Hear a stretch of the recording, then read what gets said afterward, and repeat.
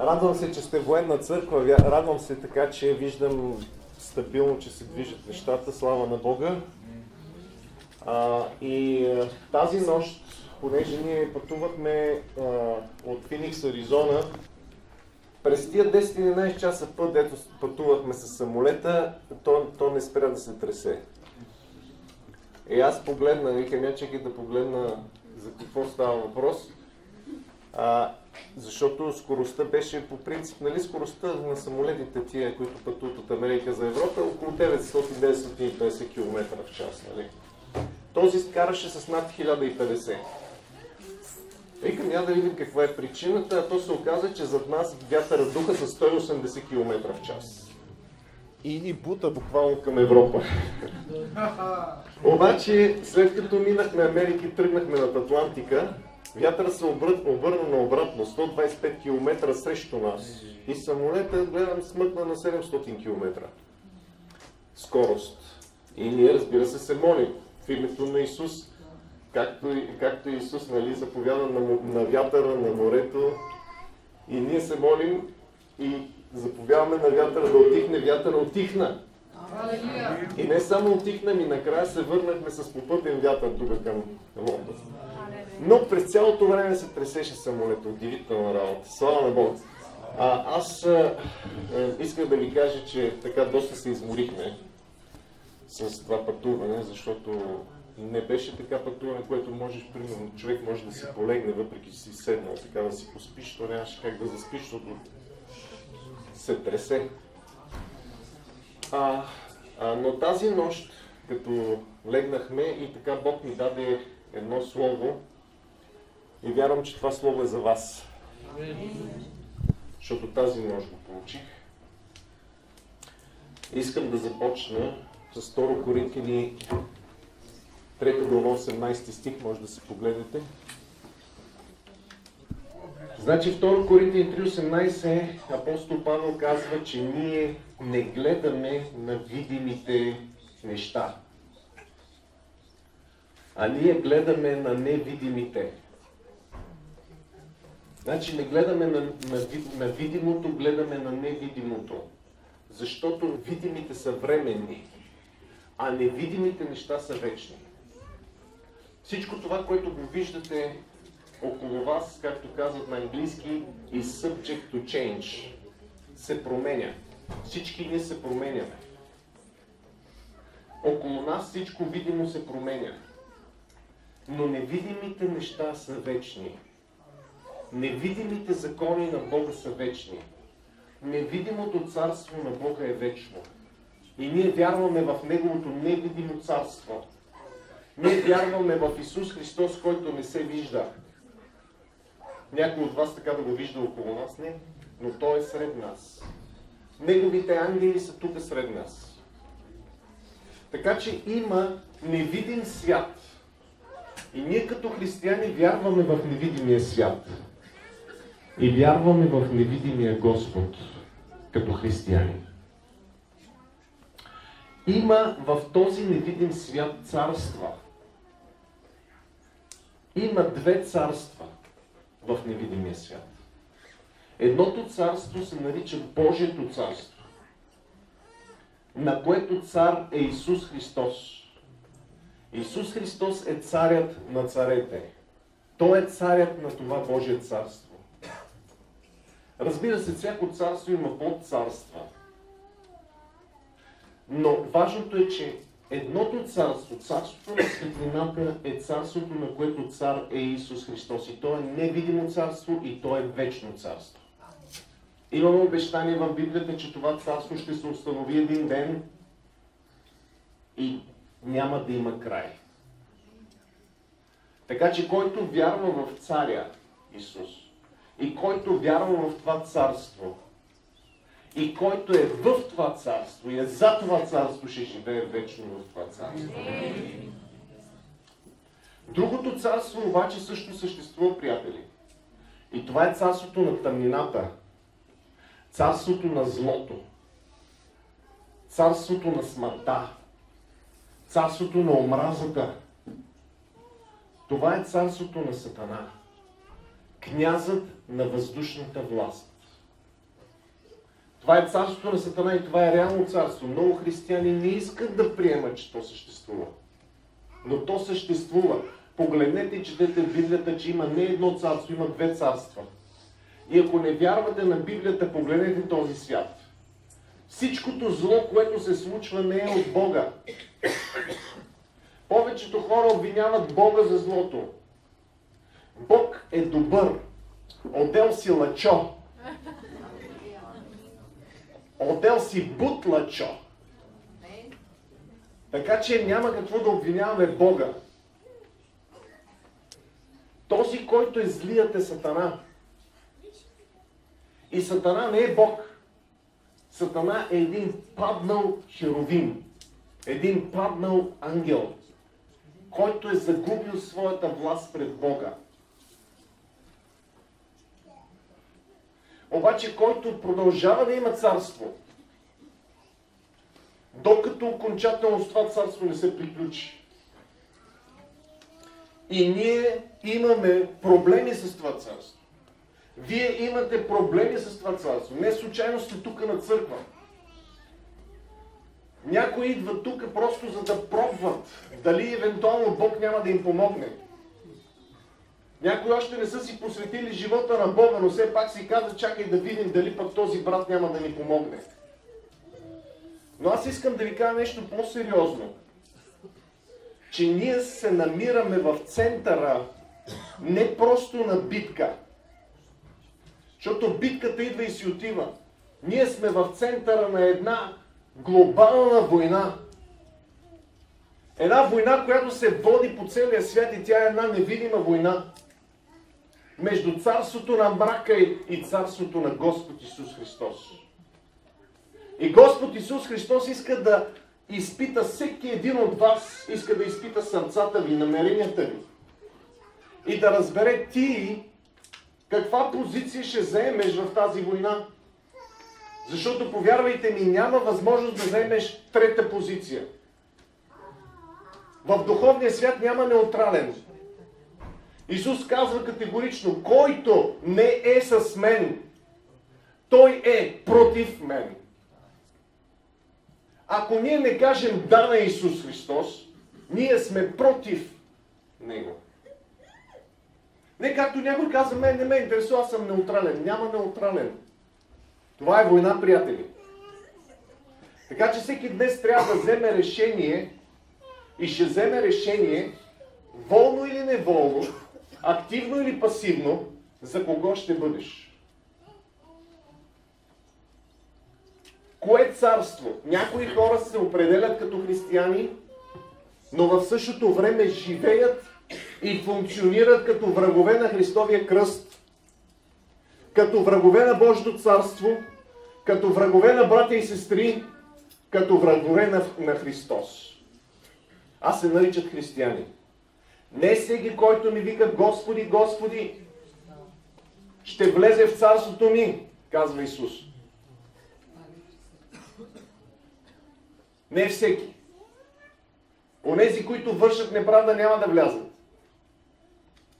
Господ иска от своята армия святост. Святостта е едно от най-големите оръжия, с които ние разполагаме. Любовта е едно от най-големите оръжия, с които ние разполагаме. И аз искам да мина през а, Матей 12 глава, от 22 стих до 45 стих, но поради времето, може би няма да мога да го прочета това. Но ще мина по диагонал. А вие в къщи си го прочетете. Матей, 28 глава, Матей 12 глава от 22 до 45 стих. Вие виждате, казах ви, че има две царства и тук в този пасаж Исус Христос ясно определя тези две царства. Ще ви кажа накратко случай какъв е. Става въпрос за един човек, който се е родил сляп и ням. По всяка вероятност е бил и глух, защото повечето неми са глухи. Когато прочуят, започват да говорят. Защото човек, който никога не е чувал глас, на него му е трудно да говори, защото не знае как се прави това. Така че ние сме забелязали, че човек като прочуе започва да говори. Както и да е. Този човек е бил сляп и е бил ням. Исус го вижда този човек. И казва Библията, Исус го изцели. Така че слепия виждаше, немия говореше. Фарисеите, които се е предполагало, че са част от Божието царство, фактически са били част от царството на Сатана. И днес има хора, които се предполага, че служат на Бога и на Божието царство, но всъщност са врагове на Божието царство. Така че не всеки, който се нарича християнин, е наистина такъв. Има някои, които се преправят. И апостол Павел каза в 2 Коринтини 11 глава, че Сатана се преправя на светъл ангел. И някои от вас са виждали ангел и мислят, че е от Бога, а този ангел може да е Сатана, който се прави на светъл ангел, за да измами хората. И казва, не е нищо чудно и неговите слуги да се преправят като слуги на Евангелието. Така че трябва да имаме в предвид това. И тези фарисеи казват за Исус, понеже хората казват, може би Той е Месията. Може би Той е Давидовия син. Може би Той е Месията. Вижте какви чудеса върши. Фарисеите казват, не, не, той е от Сатана. Той чрез Велзевул изгонва демоните. Велзевул означава, думата е, се състои от, от две части. Ваал Зевул. Ваал е древен бог. Или да го кажем демон, на който съм правил, има си нали, идол, имало си е жертвеник, олтар, са се принасили жертви. Това е един древен демон, на който народи са принасили, както мидианците, например са принасили жертви. И знаете, че Гедеон, преди да започне да служи на Израел, преди Бог да го изпрати да освободи Израел, Гедеон, на него му беше заповядано от Бога, иди първо в бащиния си дом и струши идола и отара на Ваал. И това можеше да му коства живота. Когато започнеш да унищожаваш семейните алтари, когато започваш да унищожаваш злото в собствения си дом, сред собствените си хора, можеш да бъдеш нападнат, можеш да бъдеш обвинен и както Гедеон, някои даже са под заплаха за смърт. Обаче Господ каза, ти не можеш да отидеш и да освободиш целият народ на Израел, докато в твоя собствен дом се покланят на лъже Богът Ваал. Така че не е истина това, което хората казват, един е Бог и край няма други. Истината е, че един е истинския Бог, но има много лъжливи богове. И в цялата Библия Бог заповядва Олтарите на лъжливите богове да се струшат. Бог заповядва да се освободим от идолите и да не се покланяме на друг Бог. Само един Бог. Отец и Неговия Син Исус Христос. Да се покланяме на Него. И така, връщам се обратно към историята. Фарисеите казват, той гони бесове чрез началника на бесовете. Виж как добре знаят. Защото Баал Зебул означава Баал, или Баал всъщност на български, Баал означава господар. Вижте ли, това божество, фалшиво, или този демон се нарича себе си господар или Господ. Ама един е Господ. Неговото име е Исус Христос. Но има друг, който също се представи като Господ. И ще каже, и аз съм Господ. Ма ние сме един и същи, бе.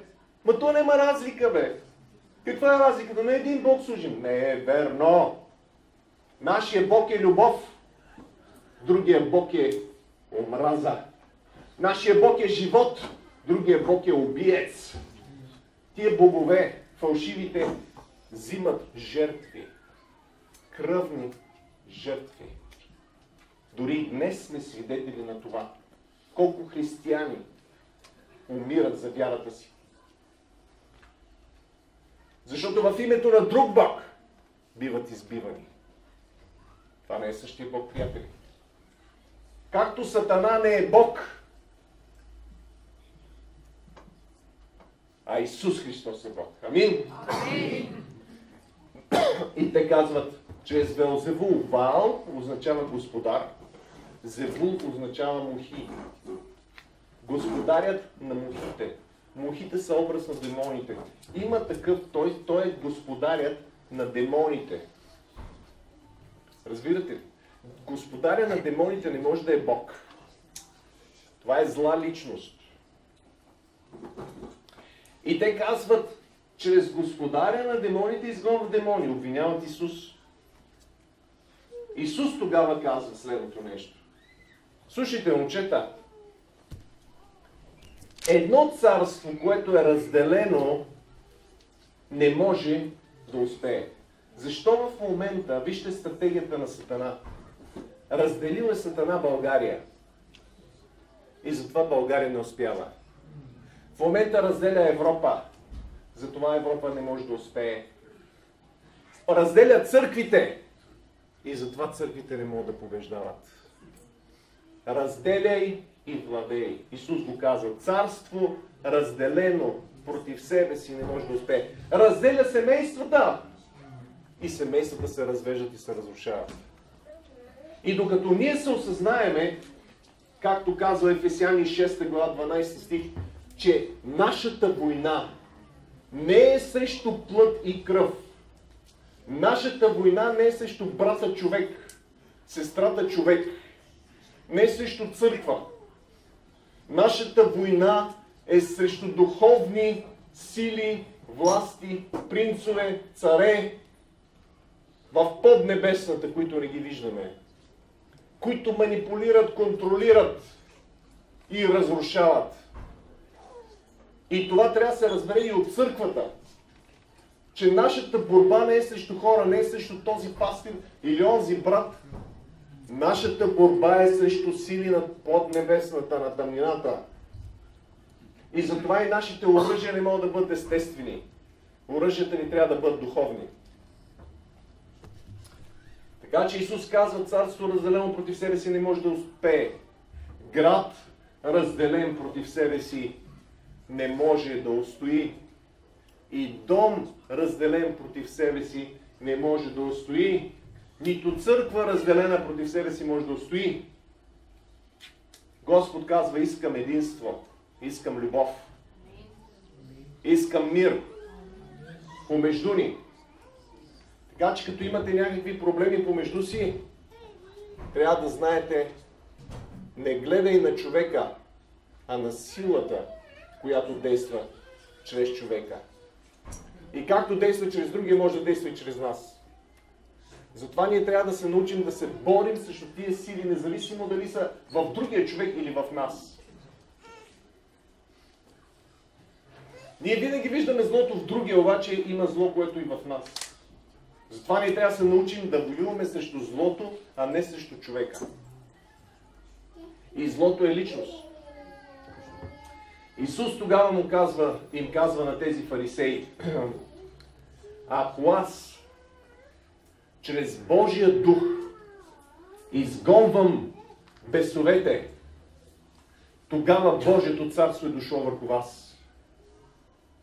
Той казва, вижте, момчета, аз изгонвам бесове.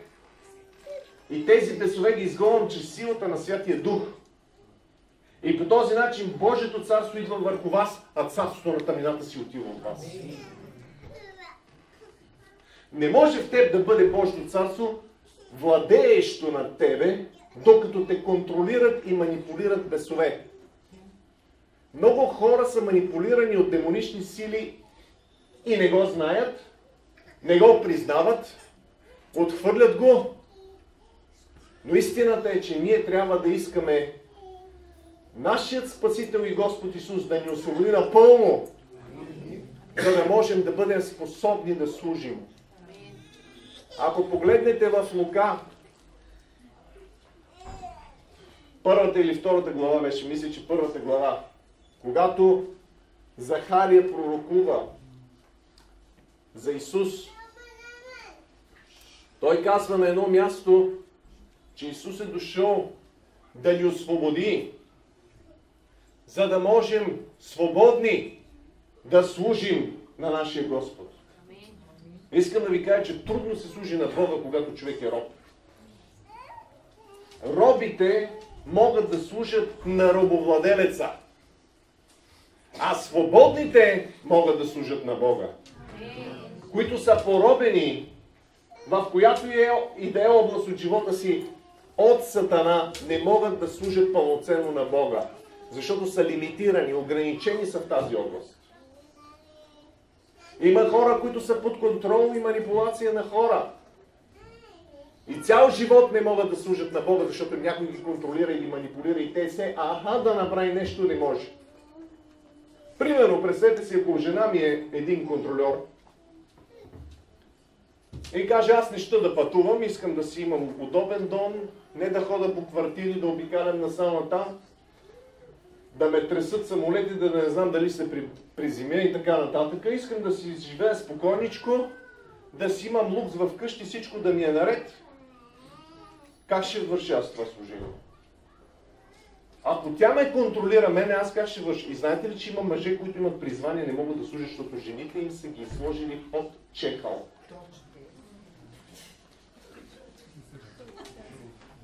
По-нашенски казвам. И обратното. И обратното може да бъде. Жена, която има призвание, обаче няма ходиш на църква. Не позволявам. Жената трябва да се покорява на мъжа си. Няма четеш Библията. Обаче нека тук да го уточним това. Жената трябва да се подчинява. Вижте разликата. Подчинява, не покорява. Покорството е на Бога, подчинението. Защо? Защото жената е подчин. Нали, мъже е старши в къщата. Жената редник. Трябва да се подчинява, обаче трябва да помните генерала. Исус.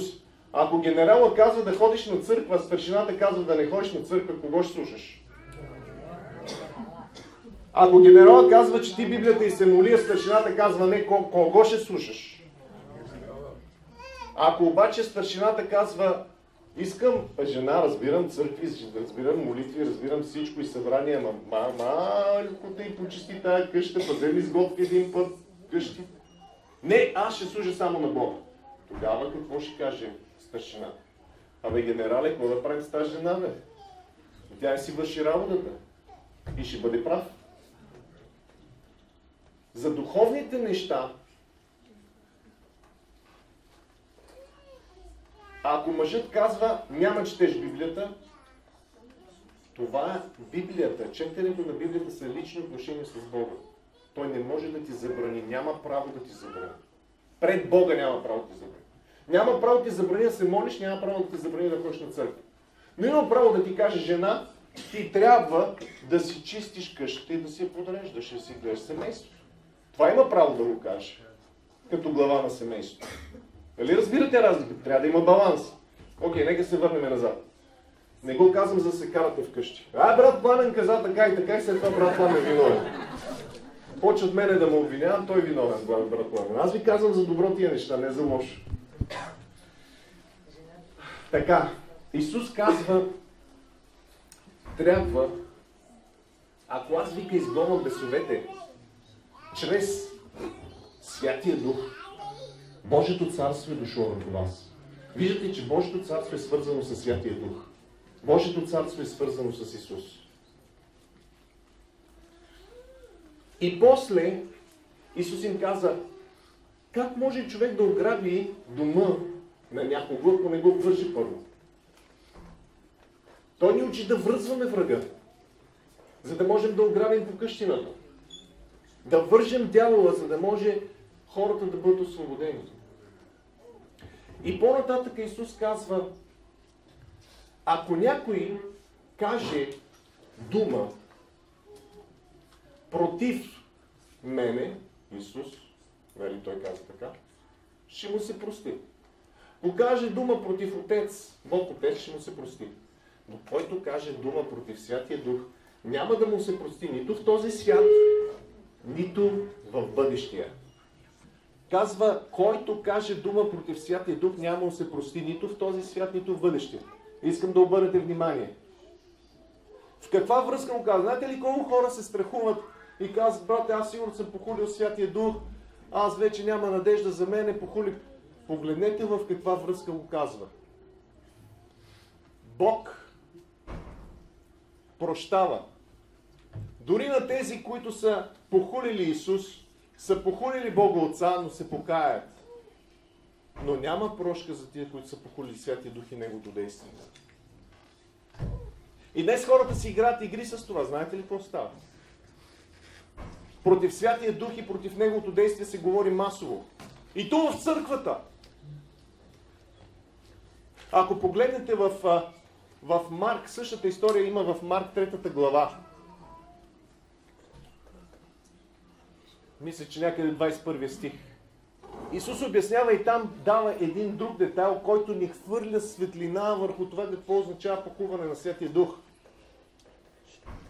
Когато той казва, когато те казват също нещо, нали, ти гониш бесовете чрез Вълзевул, Исус им казва, че който прави това може да похули Святия Дух. И после коментара е, понеже те казваха, че има нечист дух. Понеже те казаха, че Исус има нечист дух, т.е. чрез нечист дух върши тия неща, затова те ще да похулят Светия Дух. Т.е. когато ти говориш против служение и служители, които вършат Божията работа и чрез тях действа Святия Дух и ти кажеш, не, не, не, не, това е дявола, това не е Святия Дух. Това е рискът за похуване на Святия Дух. Знаеш ли защо? Не защото говориш против служител, а защото казваш, това не е действие на Святия Дух. Това е действие на Вълзивол, това е действие на демон. Тоест наричаш Святия Дух демон. Затова, когато ние наричаме Святия Дух демон, казва Господ, сме в риск от непростим грях. Това не е смъртен грях. Смъртният грях може да бъде простен. Непростимият грях не може да бъде простен. Разбирате ли го? И защо го прави Господ това? Той го прави като защита. Защо, примерно, Господ каза в защита за Божието действие? Защо Господ каза в Питие, 12 глава на Аврам, когато го благослови и му каза, ще бъдеш благословен и ще бъдеш за благословение. И после казва, проклет който те злослови и благословен, който те благославя или говори добро за теб. Защо го прави Бог това нещо? Защита. На кого? На Аврам. На Божия народ. Защото Божия народ през всичките векове е под атака на Сатана. Под атака на антисемитизъм. Под атака на антихристи. Под атака било то Израел, било то църквата, постоянно е под атака. И Господ дава защита. И защитата е тази. Който застане срещу Божии служители, който застане пред, срещу Божите деца, проклятие идва върху него от всемогъщия Бог. Искам да го чуете внимателно, защото ние казваме Бог обича всички. Да, обича ги, обаче проклятие идва върху тях. Не защото Бог не ги обича, а защото те не го обичат. И Библията казва, че Бог нанася проклятие 3-4 поколения върху уния, които го мразят. И ако тяхното четвърто поколение също ги мрази, още 3-4 поколения. И ако още следващите ги омразят, още 3-4. И казват, бе, брат, той нали само 3-4 поколения, па тук 10 поколения станаха. Ами те, ако не се покаят, това продължава.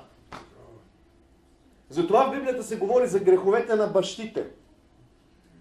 Защото много са вързани от греховете на бащите. Ходят си в греховете на бащите.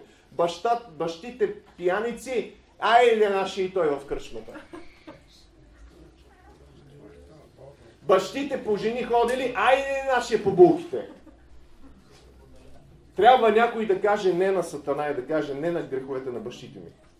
Застава и казва, аз уважавам, почитам моите бащи, благославям ги, но не приемам нищо зло, което идва чрез бащите ми. Отхвърлям го и го разрушавам.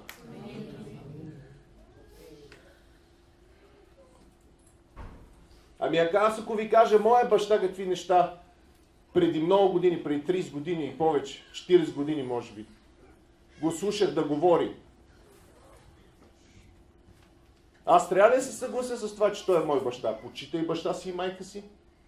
Почитам, благославям го. Обаче с това не мога да се съгласи и го отхвърлям. Никога не ще такова нещо да излезе от устата ми. Никога не ще. Така че ние трябва да кажем на злото край. Някой трябва да прекъсне проклятието. И това си ти. Някой трябва да застане за Господа и каже, стига проклятие в моя род. Аз не го ще повече. Някой ще каже, няма проклятие, брат. Ти си новороден, край всичко свърши. Я погледни какво става наоколо. Народа се мъчи и тъне в робство. Това прилича на историята на евреите в а, Египет. Божий народ, наследници на Авраам, но роби. Божий народ, роби в Египет. Роби на фараона. Работят, работят, работят, работят на фараона, не на Бога. И в един момент Господ казва, аз чух пъшкането на народа ми. Идвам да го освободя. Иди да освободиш този народ. Няма да ми повярват, Господи. Отивай. Аз ще бъда с теб. И ще действам с знамения и чудеса.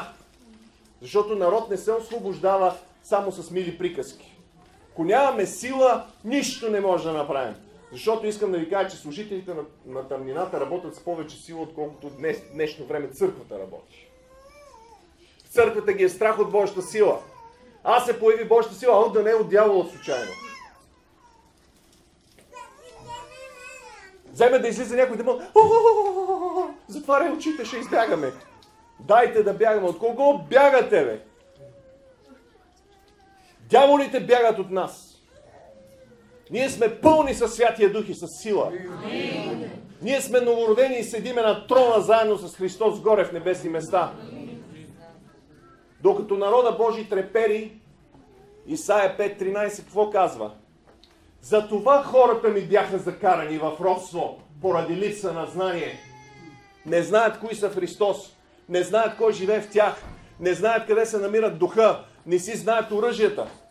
Ако взема да разпитвам хората, не знаят оръжията. Къде си тръгнал на битка, не знаеш оръжията си още. Не знае как да фане меча. Не знае как да вземе щита.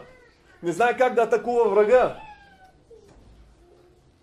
Господ иска да издигне армия от войници. Иска да издигне армия от войни. И въпросът е ти дали си съгласен да бъдеш войн или, или, или искаш да бъдеш роб.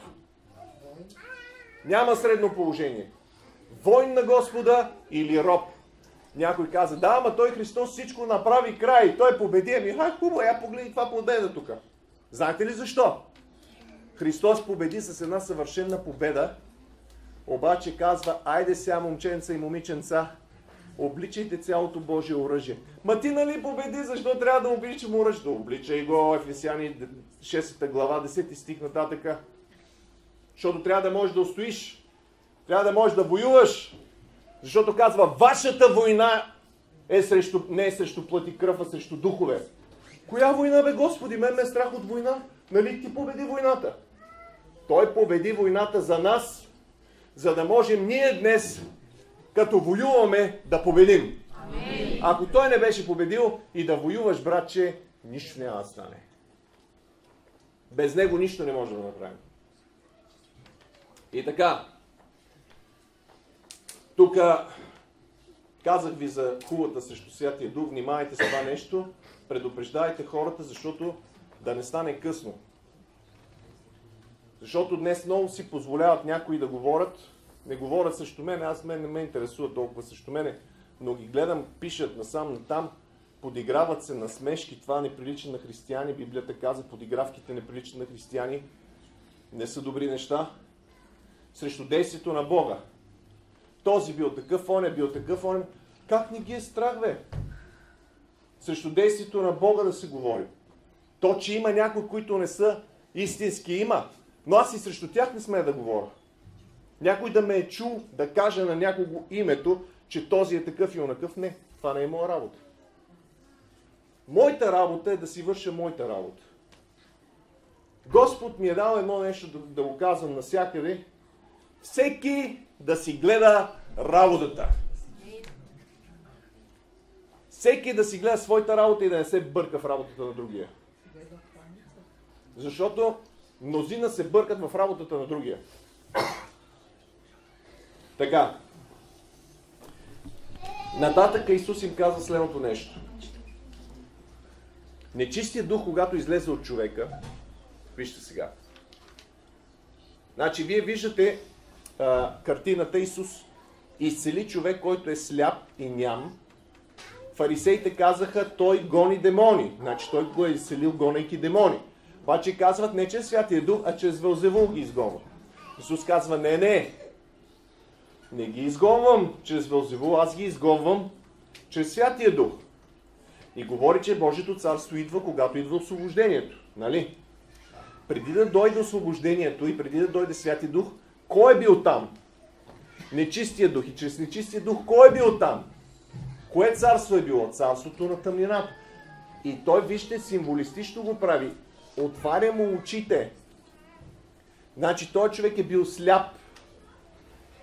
И Исус ни говори, че и който не е свободен, също е сляп. Физически и духовно. Той е бил физически, но този, който не е свободен, е духовно сляп. И казва също ням, защото този човек не може да говори от царството на Бога. Той говори или от плътта, или от тъмнината. Ти го слушаш да говори неща, но те не са истински. И Исус тук ни обяснява и казва, царство не може да бъде разделено. Ако е разделено, се проваля. Царството на тъмнината е по-единно от царството на светлината в момента. Но причината е, че там Сатана царува чрез насилие, чрез страх. Той царува чрез насилие и чрез страх. Неговите слуги се страхуват. Примерно, Сатана изпраща в църквата ви човек, който трябва да ви развали църквата. Мо мислите, че не е така ли? Идва тук и на езици може да ви говори и попрече излиза и ще плаче и ще реве и всичко ще се прави театър ще има. Даже може на, да на служение го сложите. Да води някое служение, ако не го разпознаете. И идва за да събори църквата. Но този човек идва с риск на живота си. Ако той не успее да събори църквата, ще бъде убит. И той прави всичко възможно, за да разруши църквата, да си запази живота. Това е начинът по който царува Сатана. Който иска да ходи при Сатана, да ходи. Само, че рискуваш и земния си живот, а пък небесния съвсем. Да го знаете това нещо. Защото он е жесток господар. Той е убиец, той тормози хората, той ги мъчи, докато ги унищожи до край. Докато Исус е любов.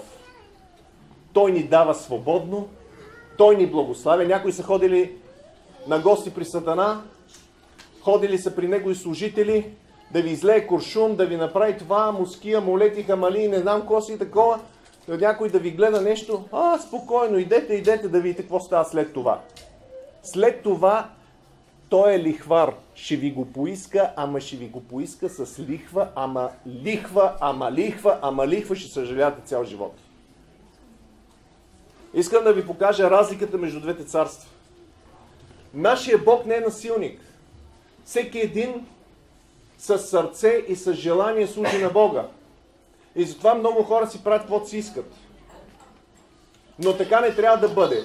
Бог иска да бъдем войници, иска да бъдем дисциплинирани, иска да бъдем армия. Никой няма право да наранява брат си.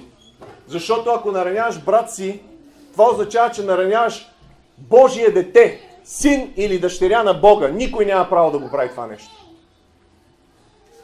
Защото който наранява Божието дете, казва, който докосва тебе, докосва зеницата на окото ми. Който докосва Божието дете, докосва зеницата на Божието око. Не искам да докосвам зеницата на Божието око. Дори някой да ме нарани и да ми направи нещо, оставям го на Бога, той е Божие дете, аз не искам да се занимавам с него. Говорим за християни. Така че внимавайте да не влизате в такива грехове, клюкарство, одумване, да направиш зло на някой зад гърба му. Внимавайте, защото всичко това се наказва. Дори да не го получиш сега, ще го получиш в вечността. Така че никой да не прави зло на ближния си. Защото виждам, че и в църквата има хора, които наричат себе си християни, вършат зло на християни. Не знам как се оправдават. Обаче има път, който изглежда прав пред очите на човека, но, е, но неговия край е смърт. Така че може да си мислиш, че пътят ти е прав, обаче в същото време да вършиш престъпление пред Бога. Трябва да има страх от Бога. Страхът от Бога е начало на мъдростта. Без страх от Бога мъдрост няма. Без страх от Бога има разюздване. Народа се е разюздал. Войник не може да бъде разюздан, трябва да е дисциплиниран. Как ще побеждаваш врага, когато врагът е победил? Когато врага е влязал в теб, нека да ви кажа едно нещо. Знаете ли, че в, в притчи се казва, човек, който не владее духа си, е като град с съборени стени. Едно време градовете са били крепости. Ерихон е бил крепост с стени. Значи, ако ти, като християнин, не можеш да владееш духа си, примерно, блудство, не мога, брат, а, нали, и, и тича, като говедо на заколение. Каквото и да е друго. Ако ти не можеш да си владееш духа, ти си като град със съборени стени, това означава всеки противник може да влезне в теб и да те завладее. Има хора, които са завладяни от порнография. Знам какво говоря. Има хора, които са завладяни от наркотици. Има хора, които ходят на машинките и хазарти и не могат, не мога брат, не мога брат. Този хазарт трябва да му се пречупи гръбнака. Има братя, които ходят и пилеят семейното имущество по хазарт и не знаят, че това е един тлъс демон. Ние сме били в Лас Вегас не един път. На служение, не на такова. Някой мислят. Влизам в Америка и викат къде отиваш, викам в Вегас. Така, е, е, е, викам, аз отивам, викам на евангелска конференция да, проповядам Словото. Той, айде, айде, ти на мене ще ми ги обясняваш тия. Не ми вярва, че отивам да проповядвам в Вегаса. То Вегас се нуждае повече от Евангелието, отколкото много други места. Така че искам да ви кажа, трябва да се пречупи този демон. Това е началство. Вижте, защо човека не може да се освободи? Един брат ми разправяше, той, не знам дали да го наричам точно брата, ама той, той, той прие Христос, прие освобождение. Вика, като взема заплатата, казвам, няма да я хода на, на, на това, и вика, краката ми сами отиват, вика. Краката му сами отивали, молите се в това там. Докато не свършат парите, няма. И знае човека, че ще свършат парите. Това е робство. И ще ми каже някой, ама не, аз вика, съм новороден кръстен в Святия Дух, нямам... Абе, такъв тлъс демон имаш, че като го изгоним, ще видиш за какво става въпрос. Нали? Така че хората трябва да бъдат свободни. Не може войската тези, които са във войската, не могат да бъдат вързани роби. Трябва да се борите и да победите всички тия неща. Но нека се върна към града. Съборен град, без стени. И много християни са такива. Може да бъде гнева, може да бъде непростителност. Някои са вързани от непростителност. Не може да прости на тъща си, на снаха си, на не знам какво. От години се мътнат с това нещо. Трябва да пречупиш гръбнака на това. Вижте хора, не може да бъдеш с греха и да бъдеш във войската. Господ иска да станем силни. И това е поръчението, което ми дава за днес да ви говоря. Защото хората идват да получат. Искам, искам, искам, искам, искам, искам, всеки иска. Господ каза, да видим ти дали ще можеш да видиш тази глобална картина, че става въпрос за царство. Че става въпрос за войска. Че Господ иска да установи волята си тук и царството си. Не случайно се казва в Матей 6 глава да дойде Твоето царство, да бъде Твоята воля, както е на небето, така и на земята. И ние искаме това царство и тая воля в нашите домове, в нашите сърца, в нашите църкви, в нашите градове и нашата страна. Вижте страната на Кодерджи. Знаете ли защо? Защото ние само гледаме политиците. Политиците показват нашето духовно състояние като църква в България. Когато църквата в България стъпи на крака и се научи да воюва, научи се да побеждава, ще видите, че и политиката ще се промени, и економиката ще се промени, може да не стане за два дена, обаче ще видите, че Бог ще издигне хора. Вижте сега в Америка какво стана. Аз знам, че мнозина, мнозина ще кажат, обаче Господ Бог се могъщи изпрати невероятен президент на Америка. Господ Бог се могъщи даде президент християнин, който разрушава делата на дявола. И аз знам, че мнозина от вас не го вярват това нещо. Защото сте ви промили мозъците. Обаче Господ Бог се могъщи се смили за тази страна. А пък и нас ни прати точно по това време. Аз съм направо щастлив. Сега се намираме в страна, където те уважават, че си пастор. Страна, в която можеш свободно да ходиш с кръст. Можеш свободно да кажеш, че си пастир, че си служител на Евангелието. Хората те благославят. Здравейте, слава на Бога, това, онова. Обаждам се. Там данъчната им служба искам лично да си подам документите. Една жена ме пита, що лично искам. Викам, заминавам в Европа, ако има някакъв проблем, да няма, после няма да ме има два месеца. И жената ми казва, господине, моля ви се, по-кратко време стойте в Европа и по-бързо се върнете. Викам, що? Защото вика, вие сте добър човек. Капа, вие откъде ме знаете? Те казва, аз съм християнка. Аз съм християнка, върнете се, казва.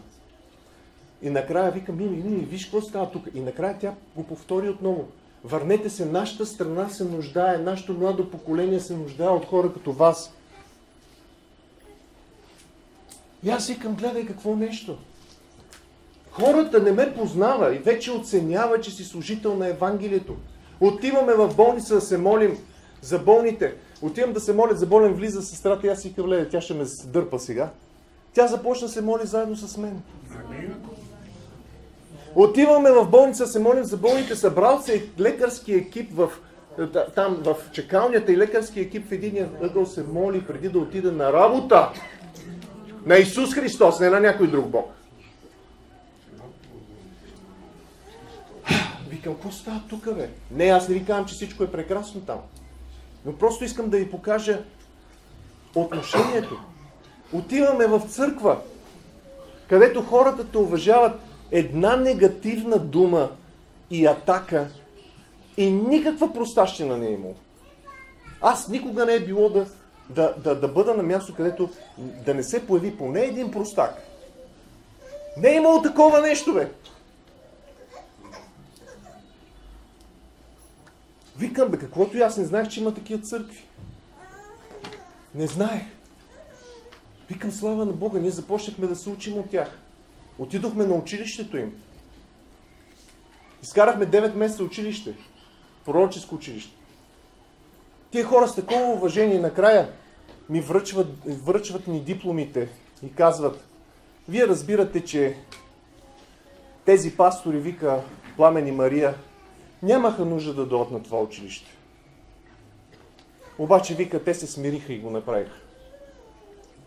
И идва след това самият учител на училището и казва, можеш ли ти да, да, да ме колчваш, да ми станеш коуч, нали знаете какво е на английски? Треньор. Един вид да ми, да, да ми, ста, да ми, станеш, да, да ми станеш треньор, ще докарам и други, за да ни учиш на духовно воюване. Учителът, те са пастири, мъж и жена, в училището ме моли да им стана на тях като, как се казва то? Ментор. Ментор. А, така, като ментор да им стана. А, а, а, аз съм отскоро там, година и половина. Вижте хората какво отношение имат. И започнаха вече да идват за освобождение, идват за лични такова. Бог, Бог отвори врата вече и с испанско говорящи, и с англоговорящи. Отидеш на друго място, почват да пишат против тебе. Почват да говорят, почват видеа да правят. Ду-ду-ду-ду-ду-ду-ду. Отиваш, примерно, служиш България с трепет в сърцето. Не знаеш какъв ще ти изкочи на среща. Знаете ли какви има? Направо не се чувства спокоен в тази страна. Да служиш на Бога, не се чувства спокоен. И аз, ние не искахме да ходим към Америка. Аз съм искал като млад, исках и обаче викам то вече кога, брат, че аз стана 55 години, сега път първа на 55, хората на 20 отиват в Америка. Да, ама Господ отвори вратата, айде замина. Не искаш, не искаш, замина. Викам, той и Аврам на 100 години, нали такова. И аз като Аврама. Нали? Нека да се върна към това. Много дълго стана Словото, аз знам, че вие чакате молитвите. Но вярвам, че това, което говоря е много важно.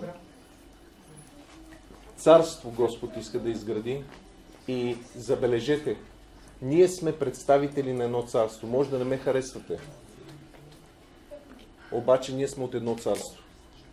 Един ден може да бъдем съседи горе. И сутринта ставаш, гледаш съседа отпред, седнал си пие чая ще трябва, нали, по някакъв начин да се поминаваме. Така че ние може да не се харесваме, нали, и така нататък, обаче сме от едно царство, ние сме едно семейство. И сме от една армия. Не винаги войниците се харесват един друг. Обаче те са длъжни заради своят началник, заради държавата, заради царството, те са длъжни да работят и да действат в единство. Господ ни е заповядал да се обичаме и да си помагаме. И така, скъпи приятели, аз въпреки всичко не можах да довърша Словото, но то не е Слово за един път. Просто Исус им каза, че нечистия дух като излезне, като излезне от човека, искам да ви, го, да, да ви предупредя, защото хората казват, пишат ми, брате, къде си на служба да дойде да ме едно, ама пълно освобождение да получа. Вижте сега, то, това, братче, не е една битка. Това е цяла война. Тая битка може да спечели. Ме идваш и печели битката, защото сме двама с тебе. Аз като си тръгна следващата битка, като те нападне врага, ти като си сам и ако не знаеш как да се браниш, ще ти завладее същата територия. После, брате, ма защо стана така? Защото не си се научил да воюваш, братко и сестро. Защото тук нямаш нужда само от един човек или служител да ти помогне. Ти трябва да се научиш да воюваш за себе си, за семейството си поне, ако не за други. Трябва да се научиш. Те не се научили да прощават, не, се, не са излезли от греха, поддават се на гневове, на непростителност, на блудство, на гледат разни работи, не знам какво си. И, и после се чуди защо. Трябва да се научиш да воюваш. Защото, какво каза? Като излезне нечистия дух от човека, Той търси покой, не може да намери. Що не може да намери? Защото Сатана му набива, набива кофата. Как можа да изпуснеш? Това е негова територия. Как може ти да изпуснеш този град, този човек? Наказание, наказание, наказание и он казва, не, не, трябва да се направи нещо. Взима още седем със себе си, казва, трябва да се втурнем, вика и с злом трябва да влезем в този. Значи контратаката седем пъти по-силна. Затова хората казват, брат, аз откакто прие Христос, по-зле станах. Ами много ясно, защото територията е изгубена за Сатана и Сатана а, мобилизира сили, за да те завладее отново. Ако си бил освободен, очаквай да има атака. Една, две, три. Исус три пъти беше такова в пустинята. И след като ти устоиш атаките, той ще разбере, че това нещо няма да стане. И ще останеш свободен. Но това, приятели, е война. И ние живеем живот на война до идването на Христос. И така, в крайна сметка искам да ви кажа, Благодата на Господа Исуса Христа, любовта на Бога Отца и общението на Светия Дух да бъде с всички вас. И ви желаем ви всичко най-добро, победа в името на Исус. Амин.